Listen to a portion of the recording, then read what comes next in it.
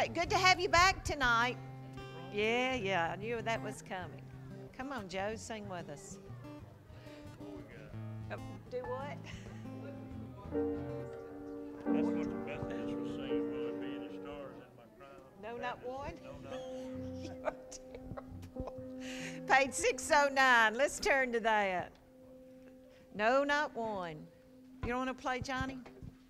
Don't feel like it? Good as Ah, well, I'll tell you what. as paid.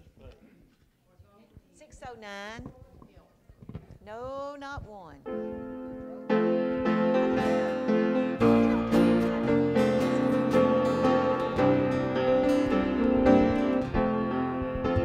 There's not a friend like the lowly Jesus. No, not one, no, not one. None else could our soul's diseases. No, not one, no, not one. Jesus knows all about our struggles. He will guide till the day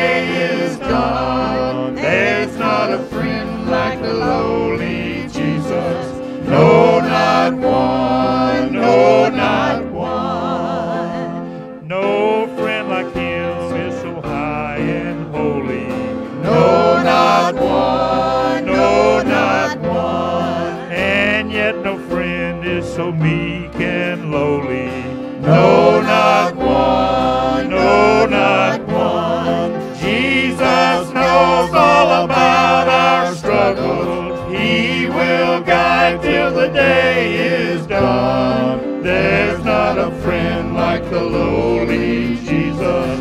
No, not one, no, not one. Did you ever saint find his friend forsake him? No, not one, no, not one. Or sinner find that he would not take him? No, not one, no. Jesus knows all about our struggles. He will guide till the day is done. There's not a friend like the lowly Jesus. No, not one, no, not one. Was there a gift like the Savior given? No, not one, no, not one. Us a home in heaven? No, not one, no, not one. Jesus knows all about our struggles. He will guide till the day is done. There's not a friend like the lowly Jesus.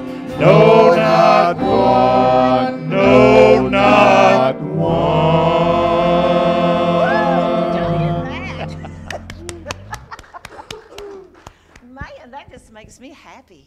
Did it, y'all? Good. No, No, not not one. one. Wow. Okay, then.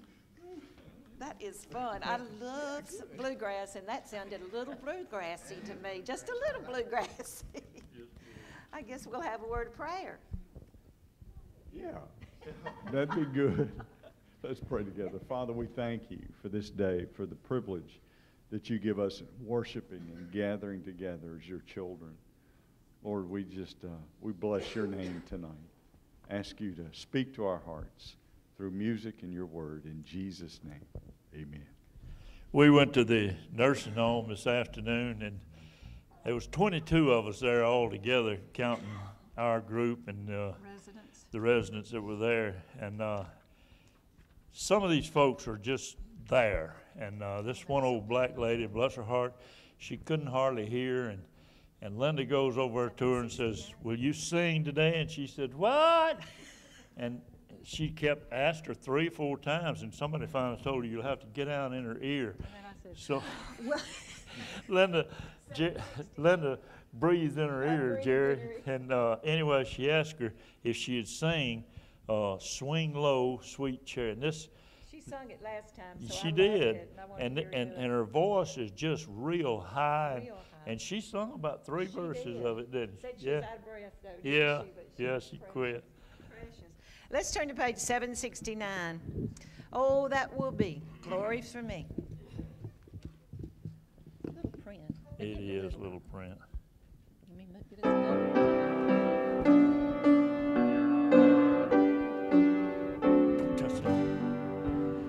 When all my labors and trials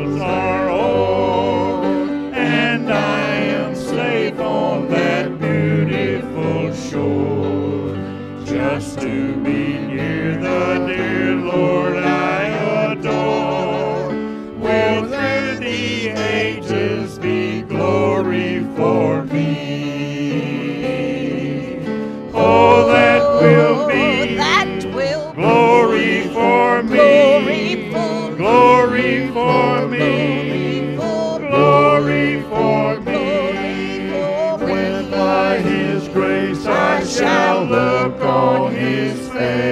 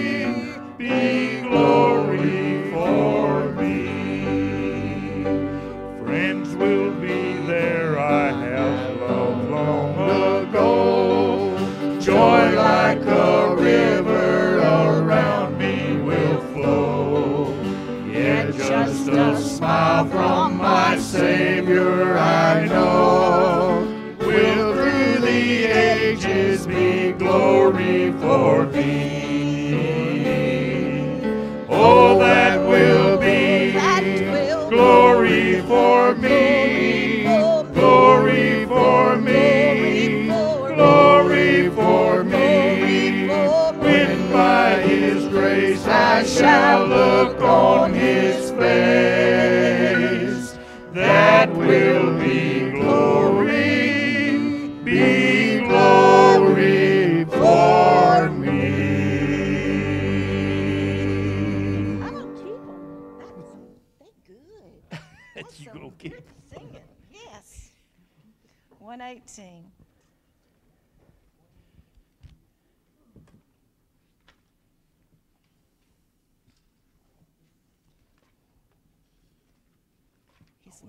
wonderful? On the wrong side. Ah. Uh, 118.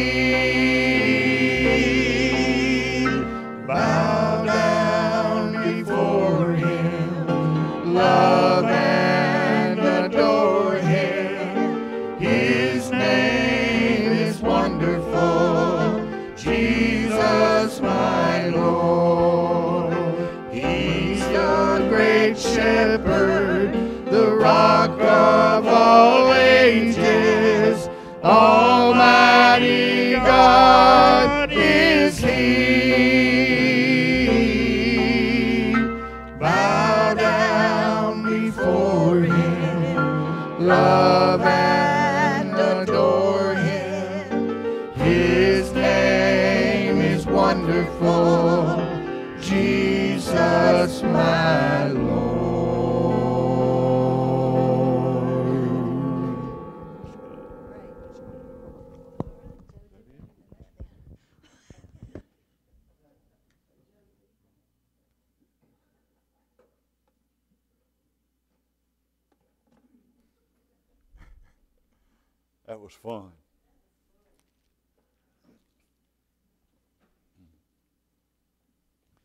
Reminds me of uh, family reunions.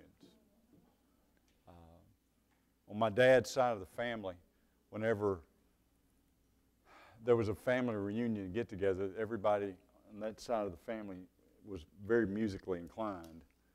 Uh, he had, dad had uh, cousins and uncles that were all ministers of music in different churches. And so when and there was always a pianist that was available to play, and, and we getting together, it was uh, uh, that was became a song fest, and that's that reminds me a lot of that. Uh, let me pray for us, and we're going to talk uh, just a, for a few minutes tonight about uh, give you a heads up. We're going to talk about submission.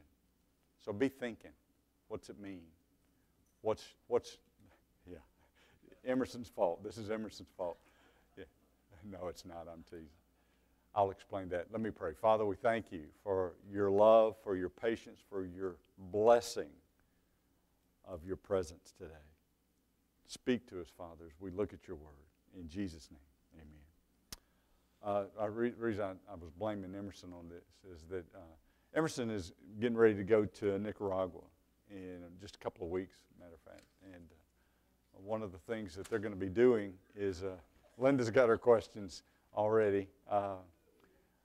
But one of the things they're going to be doing is they're going to be leading a pastors' conference while they're there. And part of the pastors' conference is they're going to be uh, leading a conference for the wives. Is that right, Emerson? I got that right? And uh, uh, he'd asked a few of, of, our ladies in the church to, uh, if they would allow him to interview them. And so I think that's still in the works.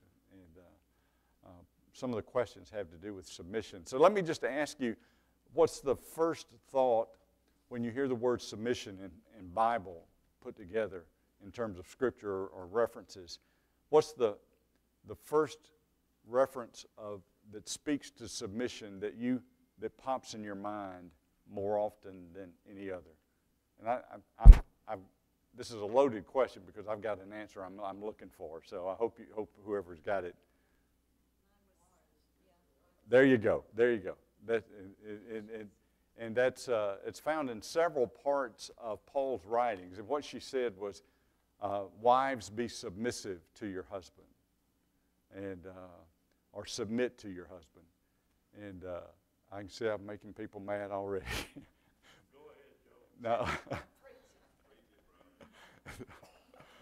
Somebody going to get hit here in a minute. I don't want, now, that's not what we're going to talk about, though. So let me go ahead and clarify. Is we're not going to we're, we're, we're not going to focus on that passage of Scripture, although it's it's uh, uh, deals with wives as women. There's Ephesians 5:22, 1 Corinthians 14:34, Colossians 3:18, Titus 2:5, and 1 Timothy 2:11. So it's it was well versed. Uh, by Paul uh, in that regard. But there is uh, another verse of Scripture found in 1 Peter chapter 5. Uh, that's not the one we're going to look. We're going to look at it, but that's not the one we're going to focus on tonight. We're going to eventually get to the book of James. If you can go ahead and put your thumb in the book of James, 1 Peter chapter five, uh, and I believe it is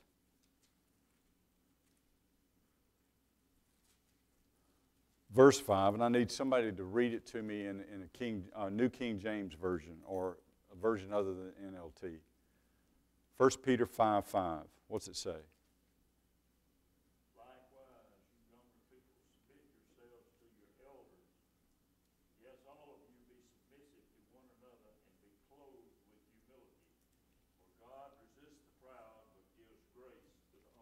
Okay. Did you catch that? It says, all of you. First of all, it says, you young people, submit yourselves to your elders. And then it comes back and says, he quantifies it even more. He says, all of you submit to one another. And uh, I, I, have, a, I have a, a, a premise I want to present to you tonight is that I believe that before we can submit to one another and before if we were to fully address what the scripture says about why the relationship between wives and husbands, before that can occur, I think true submission begins that uh, we have to submit ourselves to God. And that's, that's where I want us to focus tonight. And so, with that understanding, help me understand what you believe the word submissive or to submit means. What would be uh, an understanding if somebody was asking you, what do you mean by submit? Anybody? Exactly. Is you're yielding to the authority of another individual. And uh, uh, matter of fact, that's actually the, the verbatim dictionary definition. And uh, you looked it up, didn't you? Some point in time. Oh, yeah, you wrote it. That's it. You wrote the dictionary, didn't you? I always thought you. Huh? uh, contact sport is that whenever the person gets you in a certain position, you tap out, You submit. You submit. You yield to their their strength or their on. Yeah. Okay. Well, if you, I want you to understand that that's that's where we're going to look at in, in, in James. If if you accept that definition of submission, and uh, uh, what we're going to talk about, and it's just very, very brief tonight, looking at basically seven. James is probably one of the most practical books in the New Testament in terms of practical Christian living. And how do we submit ourselves to God? How do we yield to His authority? It's I, I, would venture to say, I don't know about you, but I don't know that I was born with a very submissive nature. And if you stop and you remember maybe your childhood or your children's childhood uh, uh, or your grandchildren, uh, children by nature are not, they, especially when they go to that independent stage. You know? Do you remember? What's the what's the three words that a, a, preschooler will declare when they're in that independent stage? I do it. I do it. I mean, that's what they, they, they you, you, you try to help, you try to get them to yield to your authority. And they declare that, you know, this independence and I think that we're each born with that nature that declares our independence even from God in so many ways. But there are, there are a, some ways that James points us to uh, in chapter 4, book of James, beginning in verse 7. Uh, he gives us basically what I, I think are seven practical ways of being submissive to God. Okay? Uh, again, yielding to that authority, also with the understanding that ultimately in Scripture we're to also be submissive to one another, yield to the authority of others. And uh, one of the words that you'll discover uh, as I read this is uh, uh, that is used interchangeably uh, with the concept of submission deals with the aspect of humility. Humble yourself. And uh, verse 7 in the NLT, that this is what I'm reading from, it says, So humble yourselves before God. Humble yourselves before God. In the New King James Version, it says, I believe, so submit yourselves to God. That's idea of submission to God or yielding to His authority.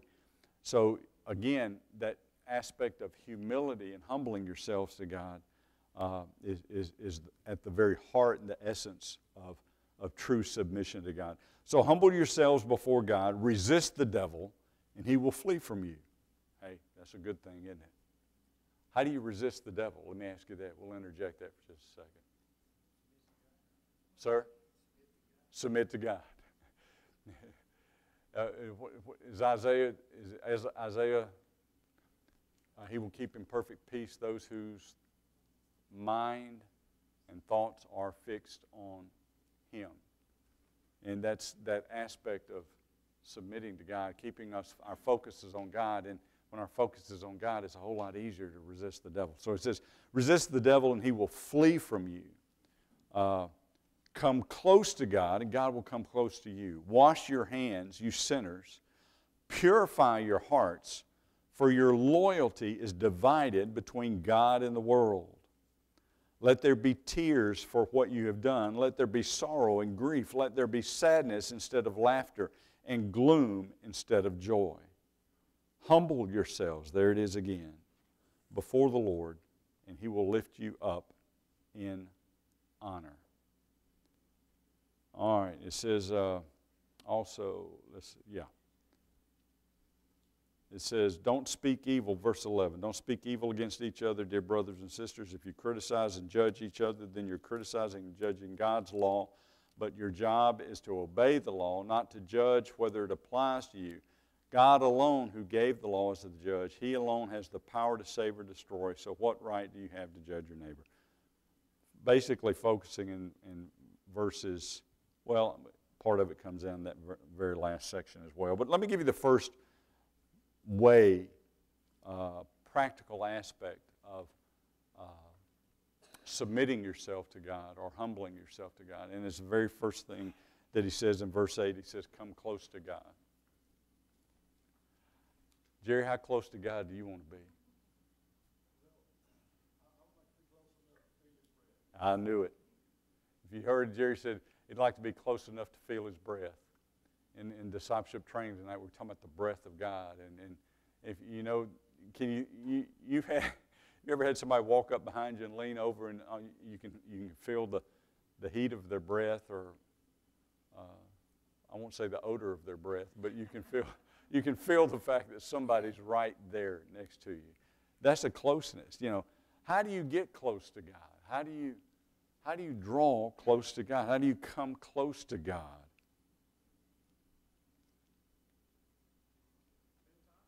Spend time with Him.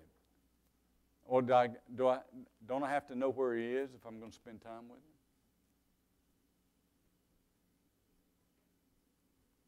These are, these are easy questions. Yeah, you do. You need to know where He is. Where is He? If you've got a relationship with God, where is He? He's, he's inside you, He's right there with you. So you don't have to travel far, do you? You've got to stop and reflect and look inside and look here. Spend time with God. Spend time with God's Word. Read His Word. Talk to Him. and then the other, the flip side of that is listen to Him. Listen to Him. I know there's been a lot in the news lately in uh, reference to uh, the vice president making reference to the fact that, uh, or someone belittling the vice president for saying that he uh, listened to God.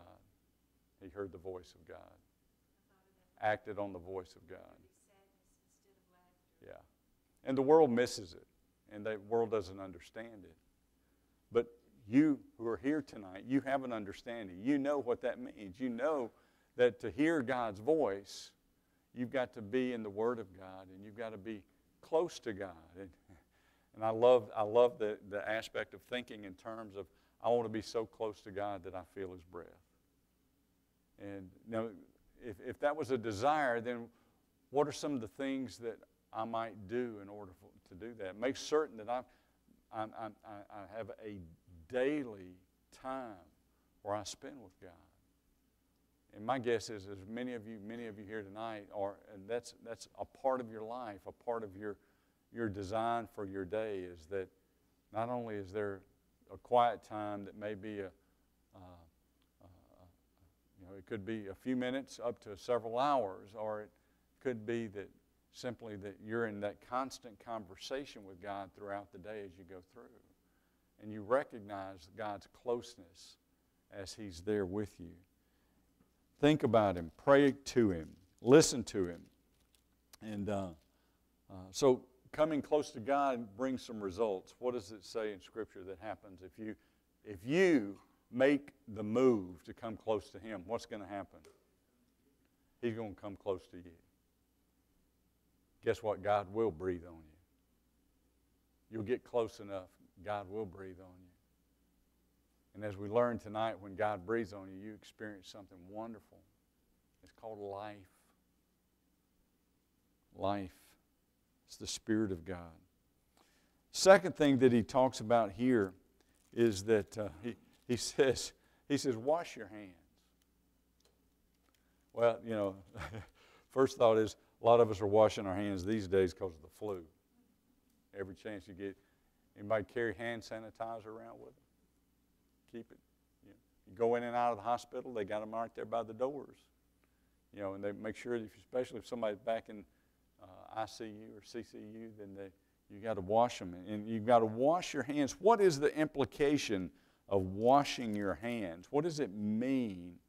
Uh, what's the, if, if, if part of my submissiveness to God is to wash my hands, what does that imply?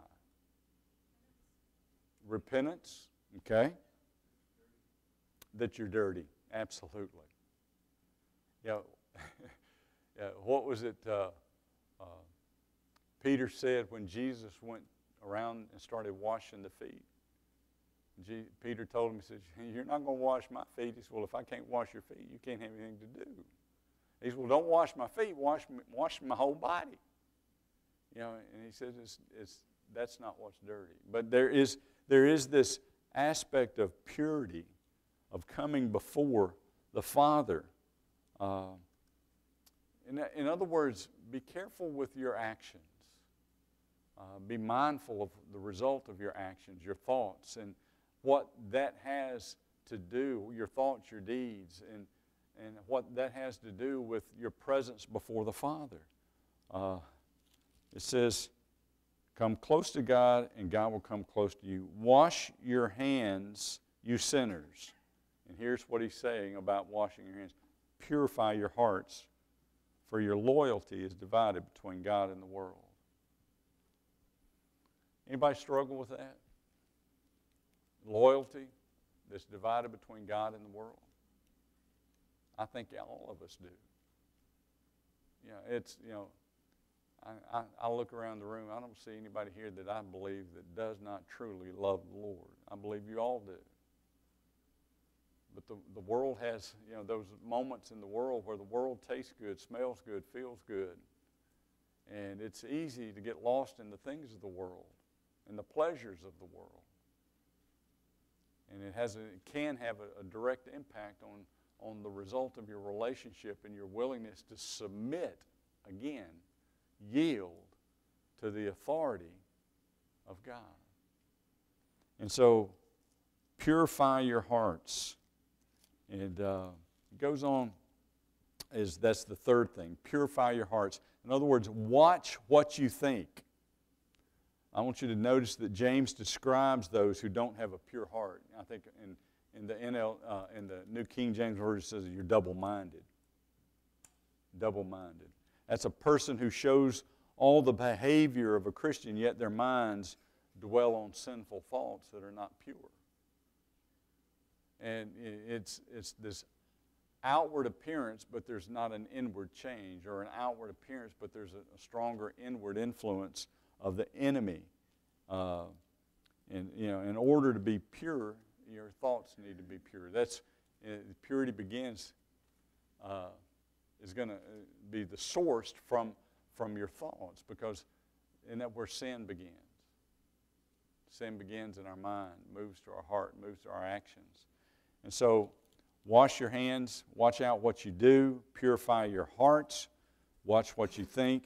And then he says, basically, he says, uh, my version says, let the tears, let there be tears for what you've done. Let there be sorrow and deep grief. Let there be sadness instead of laughter and gloom instead of joy.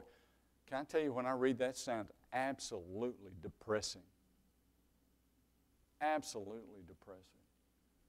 And I, I think, why in the world would I want to do any of that? Why in the world would I want to, to cry, cry over, over what I've done and express sorrow and grief, but why would I want to experience that? What is, what's the, the general, what's another way of, of saying what, he, what, what, uh, what James is trying to say here? Broken, being broken, mourning, grieving, what? Over your sin. You know, if, if, if the description of drawing close to God, the, the instructions, the practical aspect says that we should wash our hands, that we should purify our hearts, and that and recognize the sin in our life, and then be sorrowful for it. What's the word lament mean? Does anybody know? Cry out. To be sorry.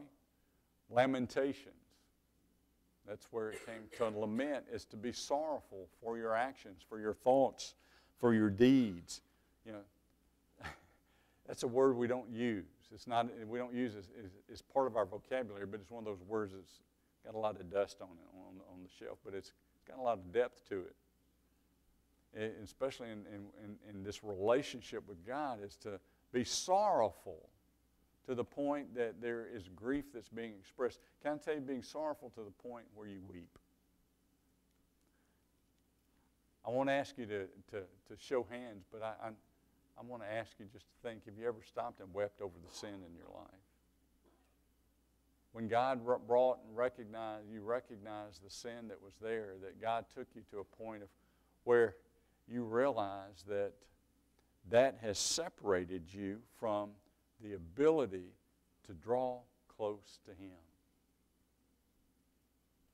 I have. I've been there. And can I tell you, there's, there's, I want to get, get, make sure that you understand the good thing about the tears. When there is mourning over, over sin and grief over sin, what, can I tell you what tears do?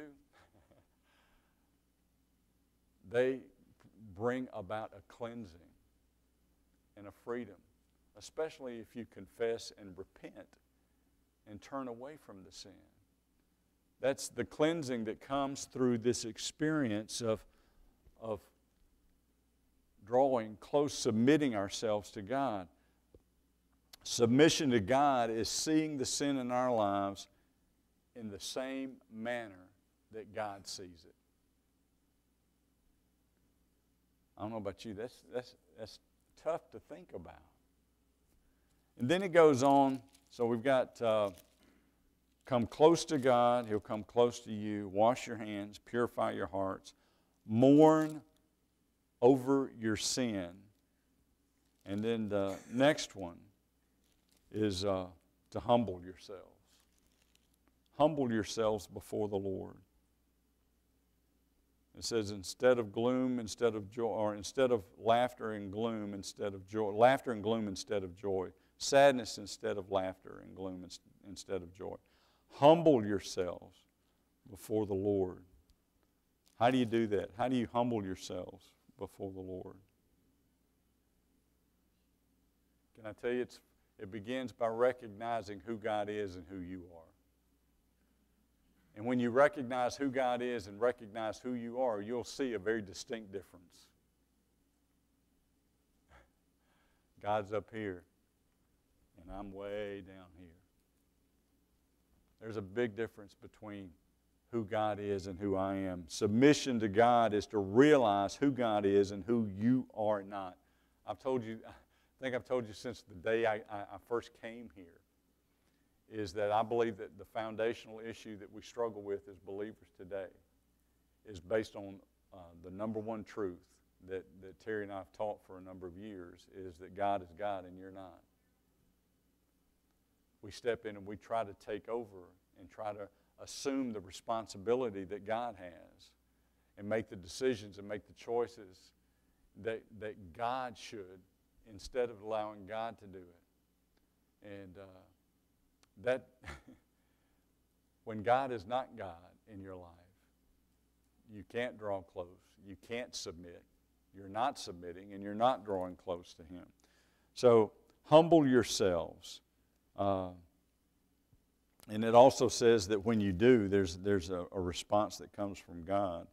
Humble yourselves before the Lord, and it says, He will lift you up in honor. He will lift you up in honor. In other words, we need to let God be God, and we need to realize that God is in control.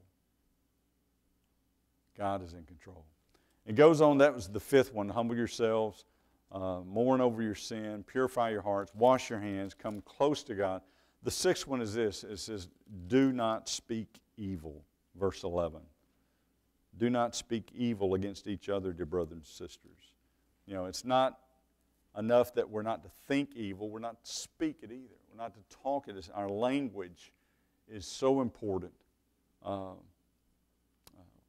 we're not to talk about each other, fellow Christians, uh, especially talking bad about somebody. Uh, James says, don't judge fellow Christians and don't judge God's word. But he says this the seventh thing is to obey what God says, obey the law. And that's in the latter part of um, the last verse. He said, But your job is to obey the law, not to judge whether it applies to you. Be obedient to the law. And, and that corresponds with the, the verse in James chapter 1, verse 22, that you're probably familiar with. It says, Be doers of the word uh, and not hearers only. In other words, take and be obedient to the Word of God, not just listen to the Word of God, not just look at the Word of God, not just read the Word of God, but put it into action in your life. Um, so, with that, let me ask you this How much of God's Word should you strive to obey? Shelby said a little bit about this much. All of it. Oh, that was a, that was a, all of it. That's absolutely right. Uh, how many of the commandments should you try to follow? All 13, Linda said. They're not suggestions. We should strive for, here's the word holiness. Holiness. God says, Be holy, for I am holy. He set the standard and He set the example. So, how about it? Submitting to God, is it easy? It's a challenge. And it requires an intentional effort on our part. An intentional effort on our part to submit ourselves to be doers of the word, not just hearers of the word. So let me challenge you with that tonight. You've heard the word, and you've heard some practical application of Scripture. Now, the challenge that each and every one of us face when we walk out of this place and the week that lies before us is to put it into action. Draw close to God, purify your hearts. It's all there. Father God, we thank you for your truth. We thank you for what you challenge us to, Father, that you also promise us with. You challenge us to draw close to you, and you promise us that if we do, that you'll draw close to us. Thank you, Father. Thank you, Lord God, that you have provided a way, and that way's name is Jesus. Bless us, Father, I pray in Jesus' name. Amen. Let's sing 657. Would you stand?